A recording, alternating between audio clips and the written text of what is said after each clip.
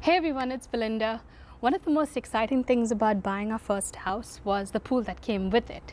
I grew up swimming competitively back in Dubai, so the idea of having a pool in our backyard was not only a luxury, it was a dream come true for me. But I didn't know anything about pool maintenance when we got this house. And sure, we could have just hired someone, but where's the fun in that, right?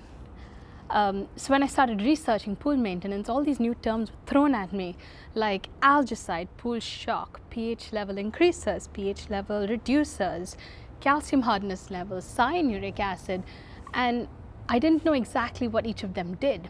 So in a series of videos, I'm going to explain to you what these pool chemicals do, and this video is going to focus on pool shock or chlorine. Let's go back inside before the neighbor's dogs start barking.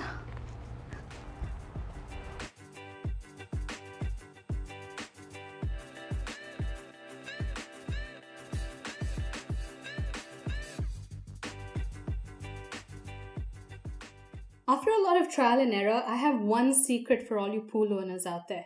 Understand the ingredients. Pool chemicals are marketed under many vague names, and if you don't understand what chemicals you're using and what they do, you're going to spend thousands on unnecessary stuff. First of all, the idea that you are chlorinating your pool is a misnomer. You aren't adding just chlorine to your pool because chlorine or Cl2 in its elemental form is a toxic gas and it's heavier than air. It can burn your throat and your lungs and irritate your eyes and your nose. What you are adding when you shock your pool is a stable compound that contains many elements, one of them being chlorine. When this compound reacts with water, it creates an acid that kills or oxidizes the microorganisms and bacteria in your pool to form chloramines or combined chlorine. There are three types of pool shock that are most commonly used. The first is sodium dichlor, or what's commonly known as just dichlor. The second is calcium hypochlorite or cal hypo.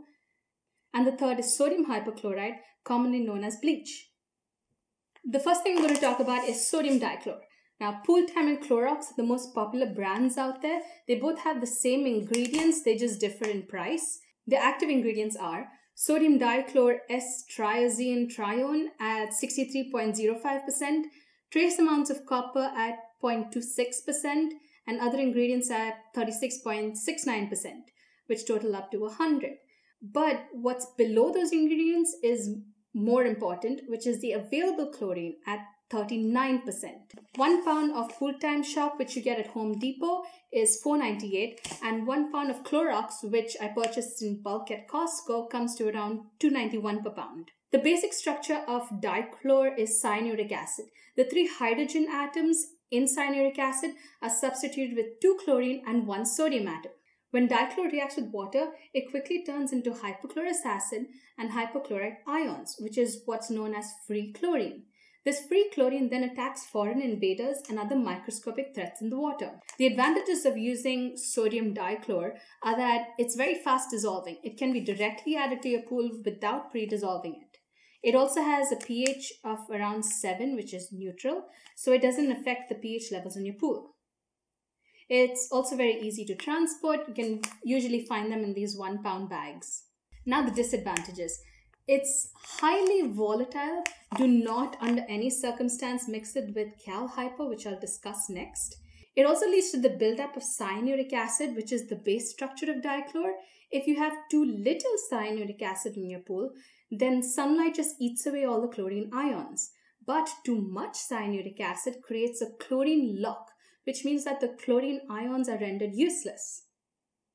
The last disadvantage is that it has to be manually added to your pool. You can't just put it in a dispenser and expect it to slowly dissolve over time. The next thing we're going to talk about is calcium hypochlorite or cal hypo. The main ingredients of cal hypo are calcium hypochlorite at 73%, other ingredients at 27%, but more importantly, the total available chlorine is 70%.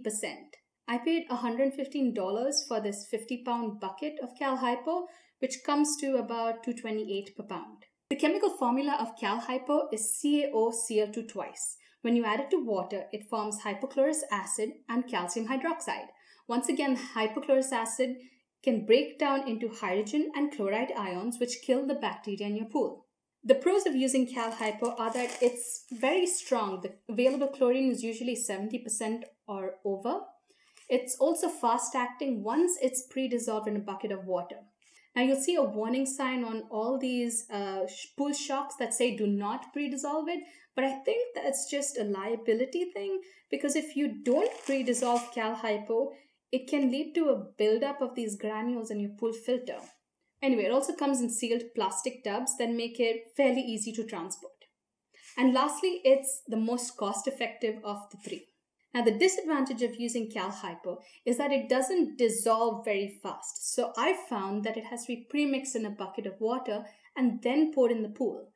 And this can be dangerous since it's an acidic solution, so it can burn your skin and even stain the ground.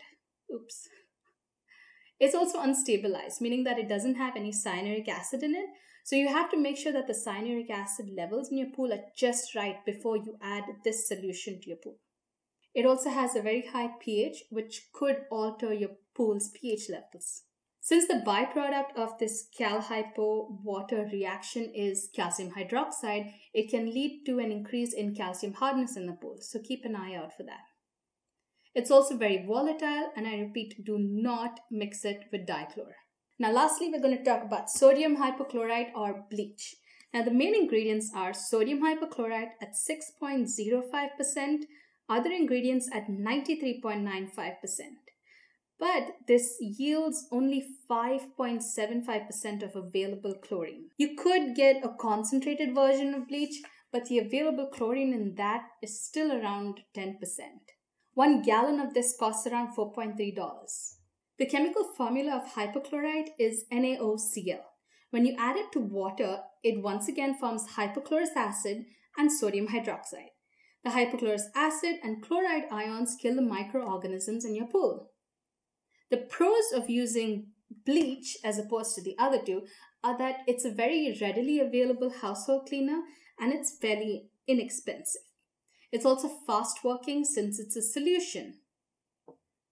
The disadvantage of using bleach is that it has such a low concentration of available chlorine, you have to add a lot of it in order for it to work. It's also unstabilized, so the cyanuric acid levels in your pool have to be right before you use it. And it also has high pH levels, so it could mess with the levels in your pool. That's it. Now you understand how the three most commonly used pool shocks work. I found for our pool that Cal Hypo works best, uh, but I know that dichlor could work better for other pools because every pool is different.